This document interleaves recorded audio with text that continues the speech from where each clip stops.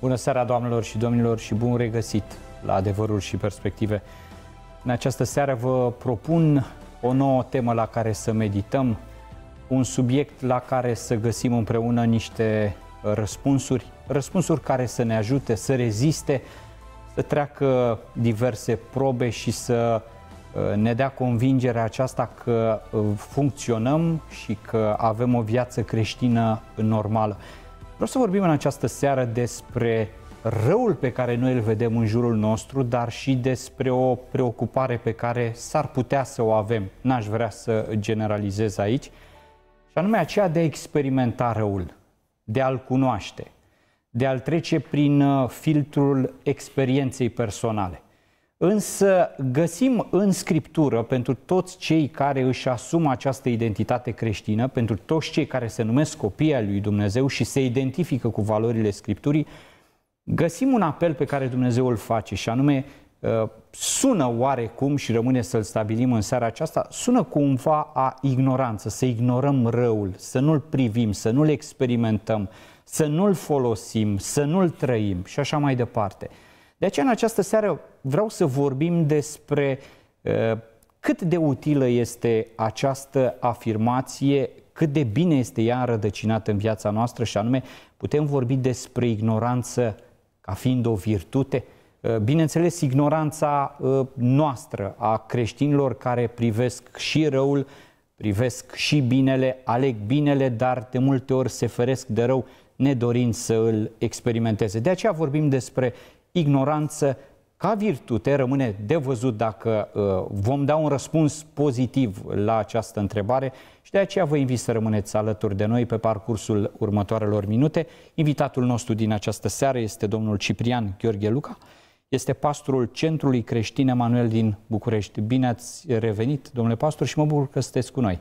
Bună seara, an nou binecuvântat dumneavoastră și ascultătorilor și telespectatorilor. Mulțumesc pentru înnoirea invitației și ca de fiecare dată am venit cu mare plăcere. Eu mă bucur să vă am aici în platou, mă bucur să fac schimb de idei cu dumneavoastră și mă bucur că de fiecare dată ne prezentați lucrurile uh, dintr-un unghi diferit. De fiecare dată, cel puțin eu și vă ascult cu mare atenție, Mulțumesc. am fost uh, surprins de bogăție ideilor și sunt sigur că și în această seară uh, discuția la fi la fel de frumoasă și bogată. Mulțumesc pentru aprecieri și sperăm să fim uh, mai puțin ignoranți în seara aceasta sau din seara aceasta cu privire la lucrurile care contează. Pentru urechile sensibile, ideea aceasta a ignoranței ca virtute s-ar putea să nu sune foarte bine. Și de aceea cred că un prim lucru necesar pentru cei care ne urmăresc, pentru cei care ne ascultă, este să înțelegem cât mai bine uh, conceptul acesta de ignoranță până să îl discutăm pe o, pe o direcție practică, concretă. Avem nevoie cumva de fundalul acela lingvistic, să filozofic, definim. să-l definim. Mm-hmm. Cred că este partea, chiar dacă noi ne ferim de partea aceasta, este cea mai grea dintr-o emisiune, pentru că de aici construim, de aici plecăm. Vă rog. Acum, ca să fac un joc de idei și de cuvinte, să vedem uh, cât de mult nu știm despre ceea ce știm sau nu știm. Da, corect. Uh, da, e întotdeauna util să creionăm conturul lucrurilor despre care vorbim, măcar să-l schițăm ca și concept. Așa că ar trebui să vorbim puțin despre etimologia și tipologia acestui cuvânt, ignoranță. Etimologia este oarecum simplă pentru că acest termen vine din latinescul ignorați, ignoranția, da? Uh-huh. care este la rândul lui un termen compus din ig, care e prefixul uh, uh, negației, nu sau ne, în românește, și uh, gnarus, care înseamnă știutor sau cunoscut.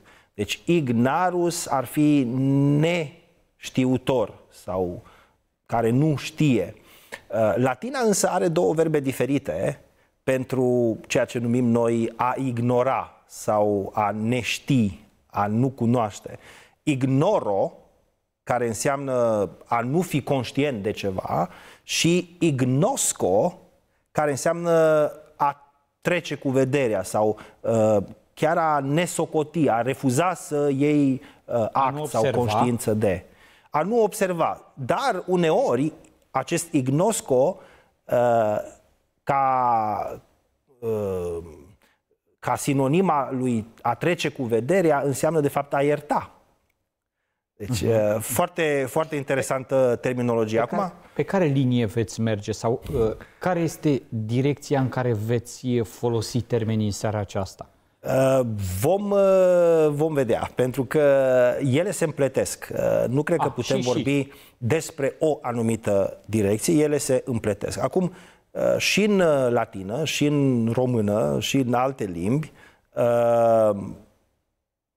conceptul acesta de ignoranță sau neștiință, necunoaștere, este ceea ce se cheamă un, un concept Uh, privativ. Este un privativ, adică uh, un cuvânt care indică absența a ceva sau deficiența sau pierderea a ceva.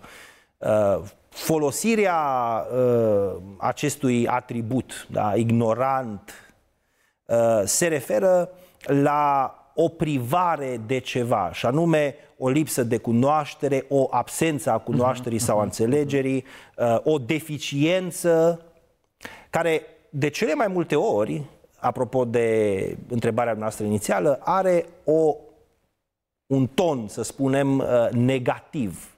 Uh, se folosește într-un registru negativ. Acum, Eh, cred că ar fi interesant și util în același timp pentru eh, cei ce ne urmăresc să spunem că există o întreagă tipologie a ignoranței. Eh, ignoranța sau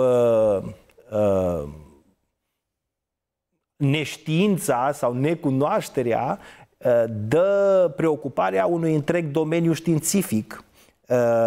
Există în, în limba greacă un cuvânt, agnoia. Apropo de aici avem agnostic, care nu știe, care nu e hotărât, mm-hmm. da? Uh, agnoia și de la agnoia există un întreg domeniu științific care s-a întemeiat și anume uh, agnologia sau agnotologia, depinde cum uh, unii spun așa, alții așa, uh, care înseamnă uh, studiul celor necunoscute studiul ignoranței. Și există mai mulți uh, filozofi, uh, printre care uh, David De Nicola sau Daniel De Nicola, uh, care are și o carte despre înțelegerea ignoranței, uh, subintitulată Impactul surprinzător a ceea ce nu știm. Uh-huh. Uh, când vorbim despre ignoranță, vorbim despre mai multe tipuri, deci, ca să revenim la tipologie, mai multe tipuri de uh, ignoranță. Și unul dintre aceste tipuri sau una dintre aceste încadrări a ajuns în atenția publicului uh, cunoscător de, să spunem, politică nord-americană uh, prin anul uh, 2002, uh, dacă nu mă înșel, când uh, secretarul uh, pentru apărare al Statelor Unite ale Americii era celebrul Donald Rumsfeld și el dădea socoteală, mă rog, sau era interpelat de cineva cu privire la uh, legătura dintre guvernul irachian și uh, deținerea de arme de distrugere în masă. Uh, cât de mult uh, a știut guvernul american despre chestiunile astea și uh, Uh, în, în intervenția lui, uh, Donald Rumsfeld a zis uh, ceva de genul știm că sunt lucruri uh-huh. despre care știm că nu știm. we know, we don't know, zicea el. Și distinția aceasta, ne, sau analiza aceasta, dacă vreți, e, e utilă pentru a vorbi despre tipologie. Înainte de Rumsfeld, cu mult timp, cu aproape un deceniu, a existat o filozofă tot americană, Anne Kerwin, care a scris despre tipologie. Și iată ce spunea ea. Sunt patru tipuri de cunoaștere sau ignoranță, dacă vreți opusul. Uh, cunoscutele cunoscute, adică ceea ce să, să știm că știm, ceea ce știm că știm. Asta e... Deci suntem conștienți da. că avem informația. Este, este, dacă vreți, cunoștința explicită. Știm că știm, ceea ce știm că știm. Apoi, urmă, următorul tip este necunoscutele cunoscute, care înseamnă ceea ce știm că nu știm. Uh-huh. Și asta este, dacă vreți, ignoranța conștientă. Suntem conștienți că nu știm. Ba, dacă ne gândim, cu... dacă ne gândim Uh, și la, la uh, Platon, uh, de exemplu, cu cerebrul lui mit uh, și alegoria mm-hmm. a peșterii, uh, dacă ne gândim și la uh, Nicolaus Cusanus, de exemplu, care vorbește despre ignoranța doctă, uh, și la alții uh, care au scris pe tema aceasta, uh, într-adevăr, știm că nu știm. și probabil că e un fel de ignoranță doctă asta, nu? ca să folosim terminologia lui Cusanus. Uh, faptul că știm că nu știm anumite lucruri uh, ne motivează să ne educăm, să învățăm, să știm mai multe despre ele și cumva ne și dă o smerenie intelectuală, că nu le putem ști pe toate. Deci cunoscutele cunoscute, necunoscutele cunoscute, necunoscutele necunoscute, adică ceea ce nu știm că nu știm. Și pentru Kerwin asta înseamnă de fapt o meta-ignoranță, zice ea. De uh, fapt, cred că nu ultimele știm, două sunt foarte periculoase. Da, nu știm că nu știm. Nu știm că nu știm. Suntem cumva ignoranți în sensul că nu știm că există așa ceva. Uh, nu știm, nu, nu Uh, nu avem percepția faptului că s-ar putea să nu știm. Uh, și asta eu aș numi o această meta-ignoranță, aș, aș numi-o în termeni teologici creștini chiar uh, păcat. Da? De ce? O clipă. Uh, Ca să facem aici o paranteză. Oricum, din toate cele da. patru, cred că am putea face uh, patru emisiuni. Da. Și separat. a patra, ca să, să okay. revin imediat, da. Da, e, sunt cunoscutele necunoscute. Adică ceea ce nu știm, că știm. Există și cazul acesta, să nu știm că știm ceva, e un fel de cunoaștere tacită sau, uh, uh, știu eu, pasivă. Noi știm anumite lucruri, dar nu suntem conștienți că le știm. Uh-huh. Uh, ei, revenind la 3, necunoscutele... Deci 3, necuno... 3 este varianta 3 sau tipologia numărul 3 este cea mai periculoasă. După părerea mea este cea mai periculoasă. De ce? Pentru că ea cuplează atât starea, să spunem, pruncească, copilărească a omului și a omenirii în general, uh, dacă vreți stadiul de, uh, de uh, oameni ai peșterii, ca să folosim analogia lui uh-huh. Platon, sau de copil nou născut care nu știe că nu știe, da? a rămâne, deci cuplează această stare a neputinței, haideți să o numim așa, o stare a neputinței cunoașterii, Uh, datorită neexperimentării lumii, datorită neexperierii uh, uh, vieții și, spuneam cuplează, da, și cumva ignoranța voită, adică refuzul de a cunoaște. Nu știu că nu știu și nici n-am de gând să fac ceva cu privire la asta. Să corectez, să îndrept pentru a ajunge în posesia informației. Da, exact. Sau adevărului. Exact. Din punctul deci este, de este o, o ignoranță uh, despre care, sigur, fără să jignim pe nimeni, uh, Biblia vorbește și uh, spune la un moment dat, omul prost nu cunoaște lucrul acesta. Omul ignorant nu cunoaște lucrul acesta. Se referă la existența lui Dumnezeu, la lucrările lui Dumnezeu. E bine, uh, Sper că aceste Foarte util. tipologii Foarte uh, să, să fie deschizătoare de ochi, să zic așa, mm-hmm. în sensul mm-hmm. că cei ce ne urmăresc trebuie să uh, știe că există mai mult cu privire la acest subiect decât ce putem noi uh, discuta în această seară sau mai mult chiar decât pare că există. Ignoranță. Ce poți să spui așa de mult sau de interesant despre ignoranță, despre neștiință? E, uite că uh, se pot spune foarte multe lucruri. Eu sunt sigur că mai toate întrebările pe care le-am pregătit pentru dumneavoastră în seara aceasta se încadrează într-una dintre cele patru tipologii. Am un citat dintr-o carte, uh, nu voi uh, da citirea acestui gând, paragraf. Susan Iacobi este autoarea acestei cărți. Eu iau doar ceea ce mă interesează din această okay. carte, din acest paragraf. Și anume, ea vorbește despre faptul că astăzi ignoranța poate fi uh, îngrozitoare, pentru că nu numai că ea înflorește, se dezvoltă, dar ea este chiar și etalată. Ea este celebrată.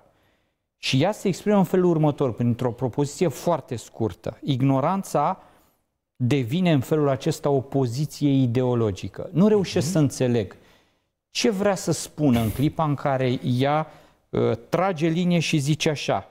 Este o poziție ideologică. Ce înseamnă că ignoranța este o poziție ideologică? De ce ne mândrim cu ea? Și ar mai fi ceva, în ce sens este etalată, este celebrată? Adică eu știu, dacă e să privesc spre antichitate, oamenii se bucurau în clipa în care cunoșteau. Noi astăzi trăim exact opusul a ceea ce se întâmpla atunci. Mhm. Adică, cum, cum reușim să explicăm gândurile acestea pe care această autoare ni le prezintă?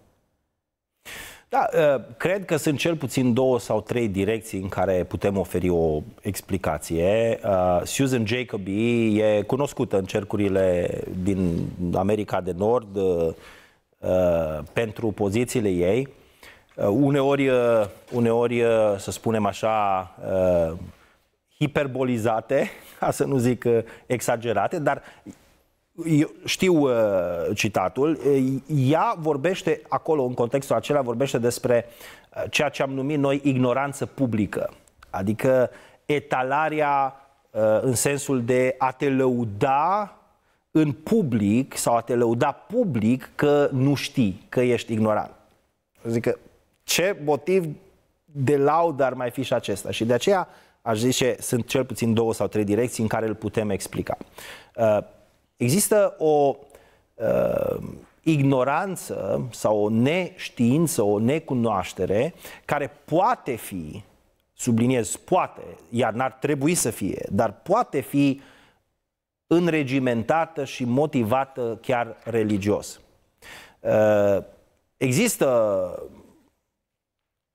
oameni care citind relatarea din Genesa despre Eden, ispitirea omului și căderea în păcat, uh, văd uh, o problemă în cunoaștere.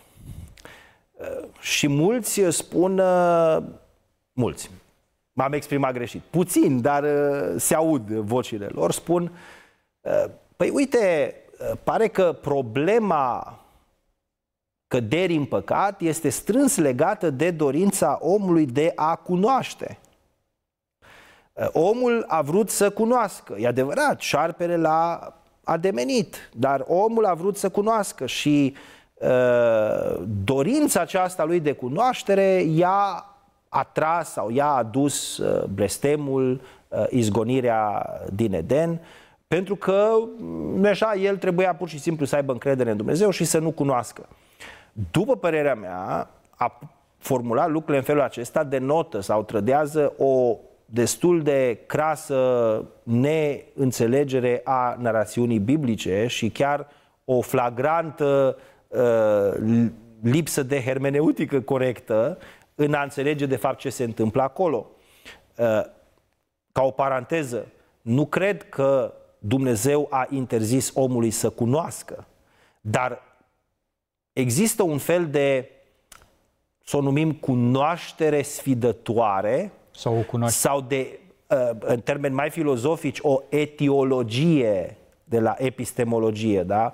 O, uh, da, o, hai să spunem, o, o epistemologie sfidătoare în care omul vrea să cunoască fără Dumnezeu. Uh, vrea să cunoască descotorosindu-se de Dumnezeu sau chiar mai mult, făcându-se pe sine Dumnezeu, punându-se pe sine în poziția de a hotărâ ce este bine și rău pentru el în baza cunoașterii. Și atunci, acest soi de cunoaștere decuplată de relația cu Dumnezeu, cu Divinul, uh, sigur că poate să fie problematic.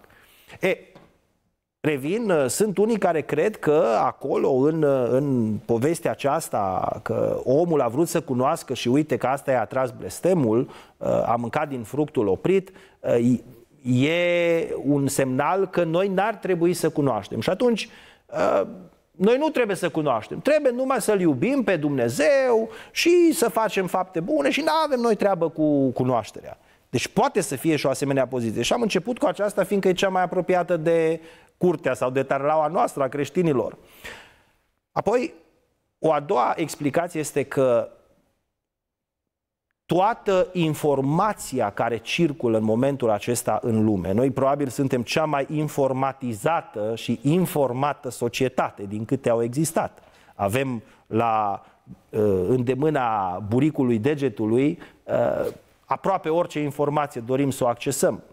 Uh, citesc acum și pe mine mă uimește fenomenul acesta al inteligenței artificiale și probabil că știți despre uh, roboțelul acela, nu chat GPT și uh, acum ajung uh, oamenii să scrie referate și cărți chiar cu inteligența, adică e o nebunie.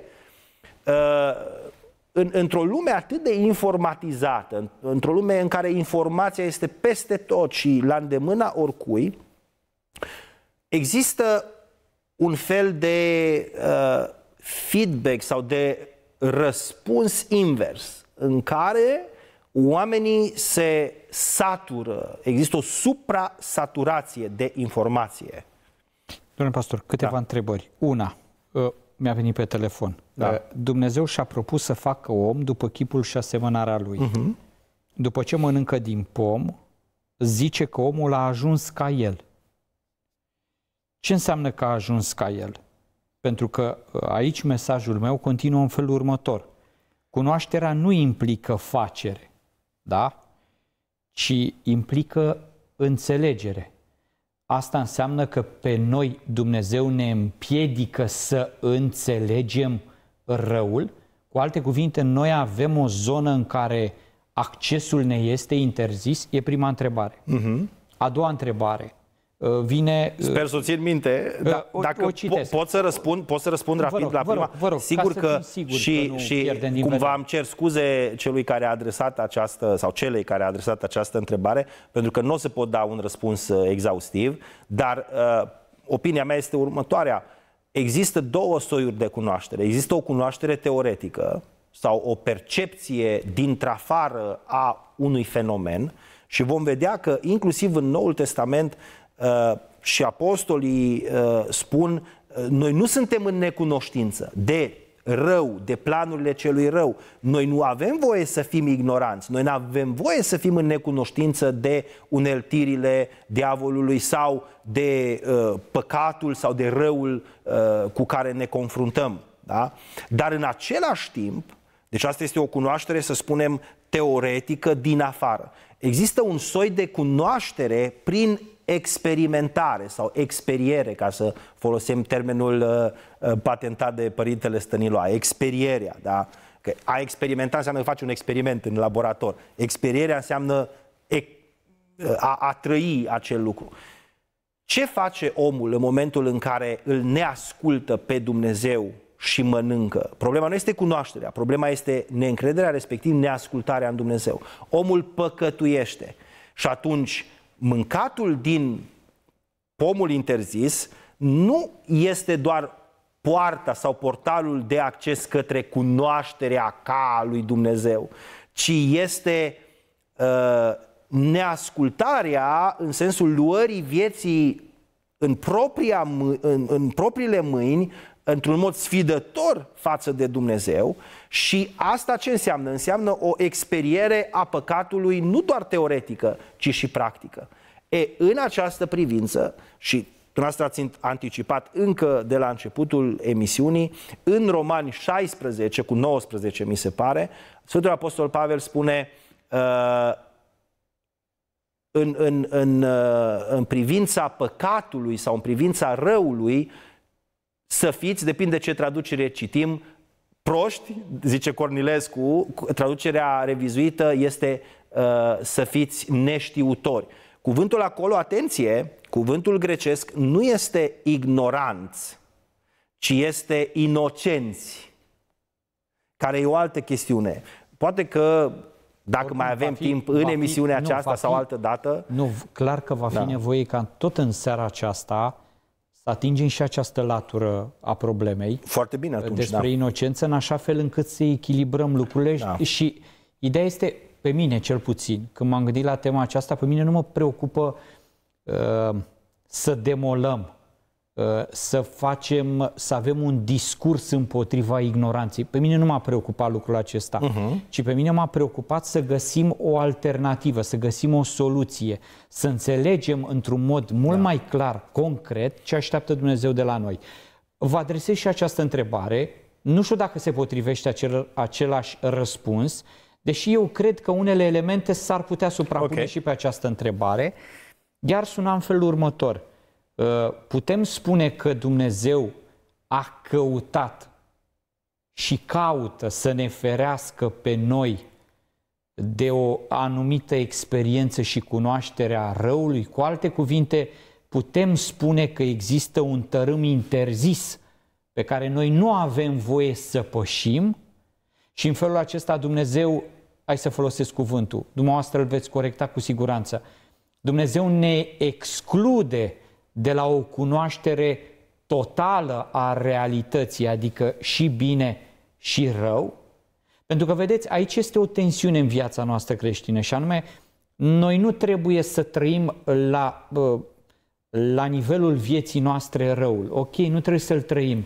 dar răul operează în lumea noastră. Sunt instrumente ale răului uh-huh. pe care noi le avem la dispoziție și o mai mare eficiență în mâna noastră, adică noi avem și capacitatea de a da viață răului. Bun, în contextul acesta Dumnezeu nouă ne spune să folosim binele. Da, dar binele nu are același efect uh-huh. ca răul. Iau doar așa. Da. Uh, Dumnezeu își cere să fii cinstit, să fii corect, să fii sincer, să fii poate altruist. Dar cu altruismul, sinceritate și alte valori biblice creștine, nu ajungi nicăieri din punctul de vedere al unora. Dar cu răul, sigur ajungi la un necinstea, uh, incorectitudinea și așa mai departe. Bun, uh, mulțumesc pentru întrebare sau mai degrabă întrebări, întrebări. Uh, pentru că, uh, sigur, sunt multe lucruri acolo în ceea ce ați spus.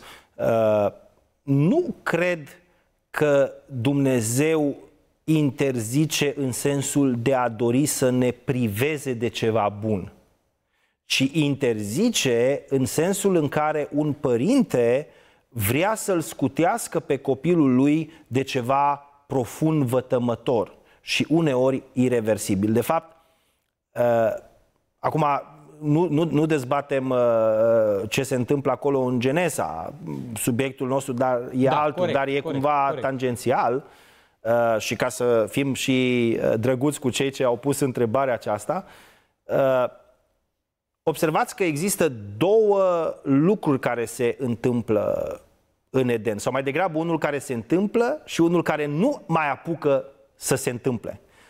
Se întâmplă accesul la cunoașterea aceea, ca să parafrazăm, de felul lui Dumnezeu deși e discutabil în ce sens. Da? Și asta se întâmplă.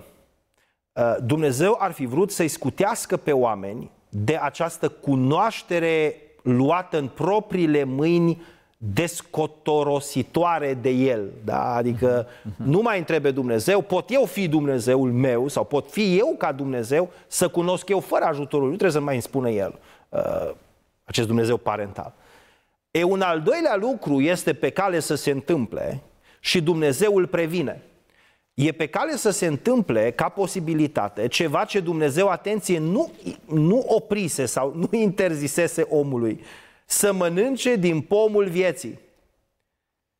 Și în momentul acela, pentru a preveni acest lucru, nu că ar fi rău să mănânci din pomul vieții, dar atenție la context, Dumnezeu îl alungă pe om, îi alungă pe oameni din Eden, ca nu cumva să mănânce și din pomul vieții și în felul acesta să trăiască veșnic.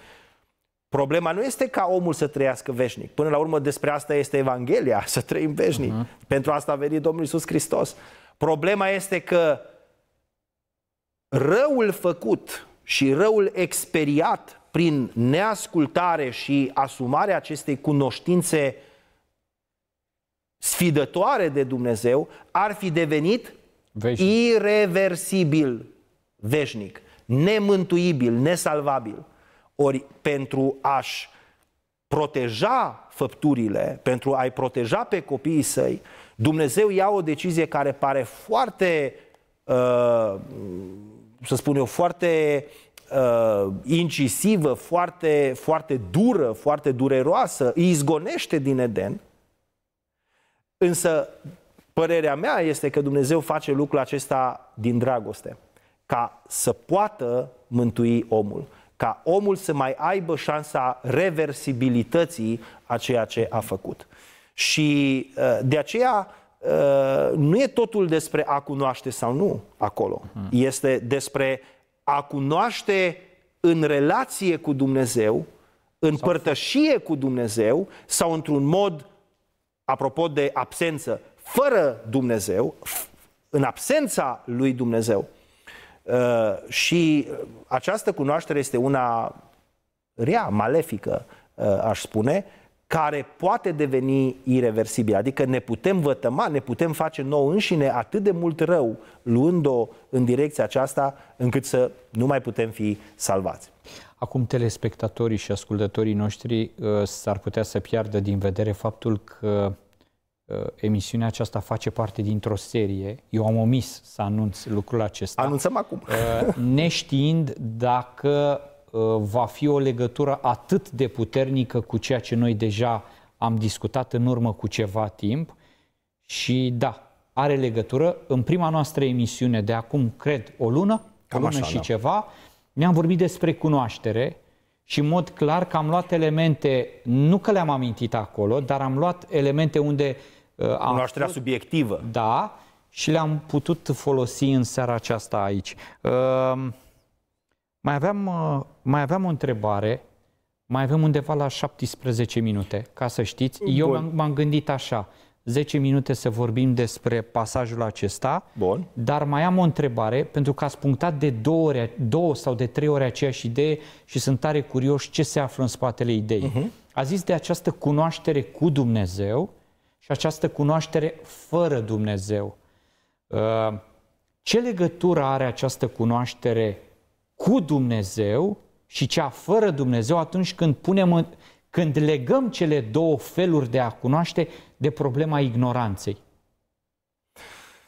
Uh, întrebarea, și da, zis timpul pentru, e, e generos, adică în, nu... Da, întrebarea, întrebarea este una destul de complexă. Uh, pentru că Dumnezeu este înțelepciunea, este, dacă vreți, întruparea sau întruchiparea uh, cunoștinței, uh, în ființa lui Dumnezeu rezidă tot ce înseamnă cunoaștere și știință, dar atenție, într-un mod sau într-un sens nevătămător, care nu duce la rău. De ce? Pentru că Dumnezeu nu face rău, uh, Dumnezeu uh, nici măcar nu poate fi ispitit să facă rău și El însuși nu face rău. Acum, uh, cunoașterea aceasta care e cumva întrupată în Dumnezeu, apropo, în Noul Testament se spune că în Isus Hristos se găsesc toate comorile cunoștinței și înțelepciunii și priceperii. Da? Și Isus Hristos este Dumnezeu. Toate. Asta înseamnă fără să excludem vreuna. Da? Deci nu vorbim doar de înțelepciunea sau înțelegere sau cunoștințele, hai să spunem, teologice, spirituale. Tot, tot, tot, tot ce înseamnă cunoaștere. În urmă Dumnezeu ține universul acesta da, în existență. Tot ce înseamnă cunoaștere este în Dumnezeu. Nu cunoașterea este Dumnezeu, ci Dumnezeu este cunoaștere. Da? Dumnezeu este înțelepciune. Faptul că în Dumnezeu, pe de o parte, avem toată cunoașterea și pe de altă parte, faptul că această cunoaștere poate fi accesată cum? Dacă Dumnezeu este ființă și El are o relație sau o legătură cu creația sa, asta înseamnă că accesul la această cunoaștere se face cum? Relațional. Adică fiind în relație cu Dumnezeu. Nu barându-ți, nu blocându-ți relația cu Dumnezeu, nu decuplându-te cu Dumnezeu, nu întorcându-i spatele lui Dumnezeu, nu sfidându-l pe Dumnezeu, ci într-o relație de, dacă vreți, de dragoste, de iubire da? sau iubitoare cu Creatorul, cu Cel care ne-a creat, cu Dumnezeu. Uh, dimensiunea aceasta relațională a cunoașterii ține de eternitate, de definiția eternității. Pentru că vă amintesc că Domnul Isus Hristos spunea, și este în Evanghelia după Ioan lucrul acesta, și viața veșnică este să te cunoască pe tine, singurul Dumnezeu adevărat și pe Isus Hristos pe care tu l-ai trimis. Deci, noi poate nu am concepe eternitatea în termenii cunoașterii, dar Domnul Isus Hristos a zis uh-huh. Eternitatea egal cunoaștere de Dumnezeu, cunoașterea lui Dumnezeu. Uh, tot Domnul Isus Hristos zice uh, eu sunt ușa oilor, cine intră, cine vine la mine, intră prin mine, da? va intra, va ieși și va găsi pășune, în sensul de hrană, dacă vreți chiar și include asta și cunoaștere sau înțelegere duhovnicească, să cunoști lucrurile. E bine, nu poți nici să cunoști, să ai acces la adevărata cunoaștere, nu la ceea ce pe nedrept este numit știință și cunoaștere. Nu poți nici să te mântuiești, fără să fii în relație bună, aș zice, Corect. cu Dumnezeu. Mm-hmm. E bine, acesta este tipul de cunoaștere pe care omul îl avea deja în grădina Edenului. Îl cunoștea pe Dumnezeu, știa lucrurile pe care Dumnezeu îi le transmitea, îi le comunica. Gândiți-vă că omul avea chipul lui și are, da? Chipul lui Dumnezeu a fost făcut după chipul și asemănarea lui Dumnezeu. Și când, după ce Dumnezeu a creat toate animalele, plantele, da? Fauna, flora și așa mai departe, pe cine a pus să le dea nume? Pe om. Imaginați-vă ce fel de cunoaștere și ce fel de epistemologie și ce fel de axiologie și ce fel de tipologie și ce fel de capacitate mentală, gramaticală, lingvistică, cum vreți dumneavoastră să-i spuneți, avea Adam, din partea lui Dumnezeu, de a fost în stare să pună nume la toate cele. Păi, dacă mă puneți pe mine uh, să, adică să recit uh, din latină... Cuvinte. Da, să recit din latină, da, numai la plante, uh, fosforus, nu știu cum, să-mi rup mhm. limba. Adam le-a pus nume la toate și nici nu se confundau între ele. N-a făcut-o Dumnezeu numirea aceasta, a făcut-o Adam.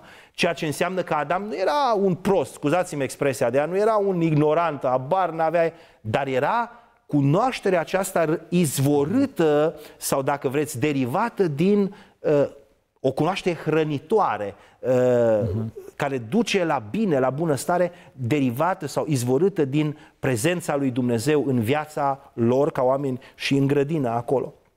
În momentul în care ei au zis, o, oh, putem și fără Dumnezeu. Putem și fără Dumnezeu. Uh, a apărut problema a ceea ce numeați dumneavoastră mai devreme, această cunoaștere, da, uh, diferită, fără Dumnezeu. Poți să cunoști fără Dumnezeu? Poți. Poți. Dar sigur că, pe de o parte, această cunoaștere este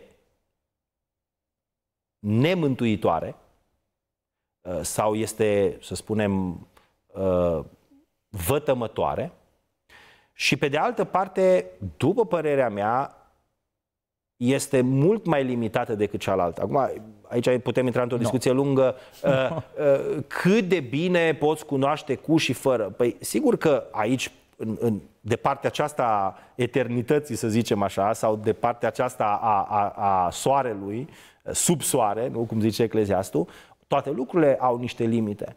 Uh, putem cunoaște doar atât da, despre ceea ce ne este îngăduit să cunoaștem despre Dumnezeu. Dar avem cel puțin perspectiva sau speranța unei întregiri a cunoașterii noastre atunci când vom fi cu Dumnezeu. Adică atunci vom avea, ni se promite lucrul acesta, celor ce credem, că vom cunoaște cum cunoaște El.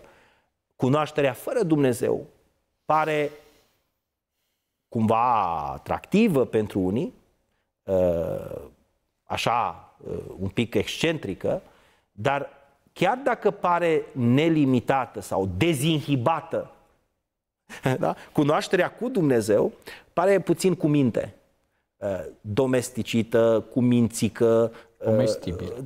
Da, așa, nu, nu, nu, nu este bad boy sau bad girl, da? E, cunoașterea fără Dumnezeu, cunoașterea, îndrăznesc să spun, luciferică. Uh, apropo, uh, există, există uh, oameni care uh, cred că Lucifer a făcut foarte bine, că a deschis uh-huh, ochii uh, oamenilor să, să cunoască.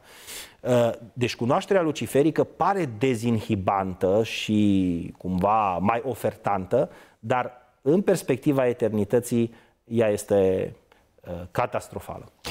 Textul la care ați făcut trimitere, Matei, capitolul 10, versetul 16, începe cu această afirmație care reprezintă de fapt o expunere a noastră, nu știu cât de mult ne ajută, Iată, eu vă trimit ca pe niște oi în mijlocul lupilor, adică deja Iisus Hristos îmi spune clar, eu vă expun. Și continuă el, fiți dar înțelepți ca șerpi și fără uh, răutate ca porumbei. Nu văd soluția. Inocența, a zis noastră, că mhm. s-ar, ar fi un cuvânt care ne-ar putea ajuta să înțelegem mai bine. În ce sens inocența este o soluție? Dacă este o soluție, că în primul rând cred că trebuie să convingem, să convingem pe cei de acasă și să ne convingem și pe noi aici, că inocența poate să aducă niște rezultate. Pentru că noi ne bazăm pe rezultate, adică răul aduce rezultate, cum ne-ar putea aduce inocența niște rezultate palpabile, binefăcătoare nouă. Da, vedeți, uh, uh, întrebarea vine la sfârșit după toată discuția asta despre cunoașterea nevătămătoare versus cunoașterea vătămătoare uh-huh. și în oglindă necunoașterea sau ignoranța uh, vătămătoare, care înseamnă o ignorare sau o necunoaștere a binelui și a lui Dumnezeu, ceea ce poate fi catastrofal, dar și ignoranța, ă, să spunem, vătămătoare, da? ignoranța, ă, pardon, ignoranța nevătămătoare, care înseamnă de fapt inocență. Ă, există, există o foarte importantă nuanță și chiar diferență între ignoranță și inocență. Ambele vin din latină am spus care e etimologia cuvântului ignoranță. Care este etimologia cuvântului inocență? Iarăși, cuvânt compus. In, care este particula negației, da, care înseamnă ne sau nu, și nocere, care înseamnă a răni sau a vătăma. Inocere înseamnă a nu vătăma, a nu răni, a nu face rău. E bine, uh, cuvântul acesta inocență uh, duce cu gândul la inofensivitate, la ceva inofensiv. Uh, în, uh, în uh, viața de zi cu zi, uh, noi vorbim, de exemplu, uh, despre uh, copiii mici ca fiind inocenți, nu? inocenții, copiii mici. Se vorbește foarte mult de inocența copilăriei multe din dezbaterile culturale, sau mă rog, războaiele culturale care se întâmplă acum în, în societatea noastră și care vizează acceptarea sau neacceptarea, respectiv respingerea unor chestiuni de ideologie, uh, pun problema exact în felul acesta. Dacă acceptăm asta, uh, stricăm inocența copiilor, uh, le, le știrbim inocența uh, copilăriei ei. Dar ce înseamnă de fapt uh, inocență? Înseamnă libertatea de vinovăție. Uh, înseamnă uh, a fi nevinovat sau a fi neîntinat de rău. Da? A, a nu îți face rău. În sensul acesta, ea se referă la puritatea morală. Mai putem vorbi și despre un sens care ține de vulnerabilitatea uh, morală, da? Uh, și eventual uh, de fragilitatea morală, pentru că cei inocenți trebuie protejați. Și acum vin la o parte din întrebarea pe care a spus-o. A vrut Dumnezeu să interzică? N-a vrut să interzică, a vrut să protejeze. A vrut să protejeze omul acordându-i liber arbitru, uh, ne luând decizii în locul lui, neforțând anumite lucruri, dar a vrut să-l protejeze de o cunoaștere vătămătoare. E bine, ignoranța peste tot în Scriptură, peste tot și îmi asum ceea ce spun, este păcătoasă, este văzută rău în Scriptură ignoranța, neștiința, necunoașterea. Însă inocența, care înseamnă puritatea morală, nevinovăția, este văzută ca virtute. Iar în, în Romani 16 cu 19, unde spune doresc să fiți înțelepți în ce privește binele, dacă vreți ca șerpii, da?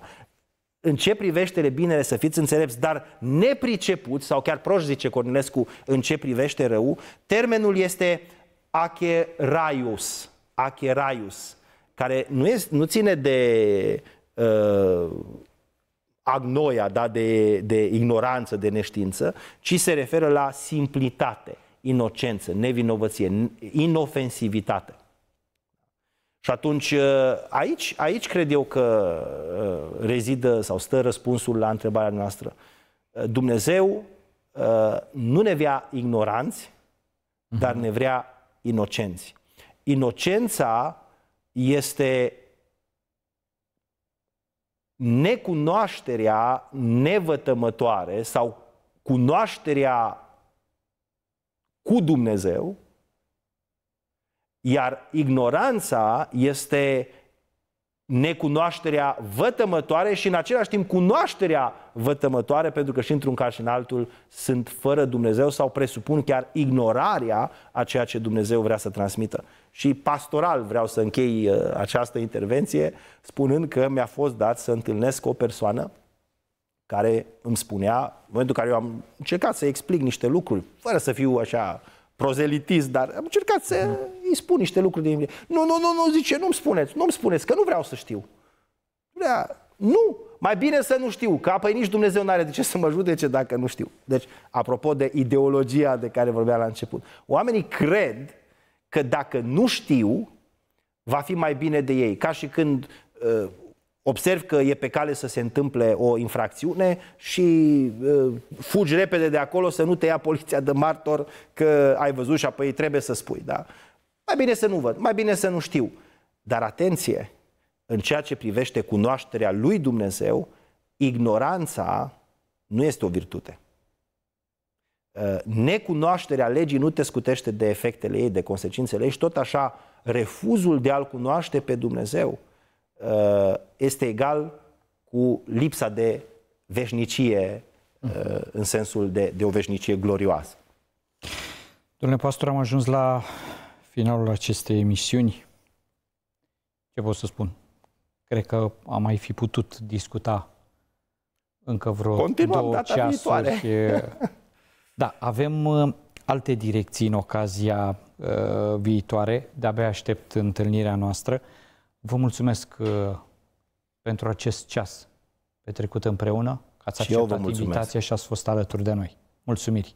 Și eu vă mulțumesc și să fie de folos pentru cei ce ne urmăresc. Doamnelor și domnilor, în această seară a fost alături de noi domnul Ciprian Gheorghe Luca, pastorul Centrului Creștin Emanuel din București. Vă doresc multe binecuvântări la final de discuție. O seară liniștită să aveți și vă aștept și mâine seară tot la adevărul și perspective. Toate cele bune!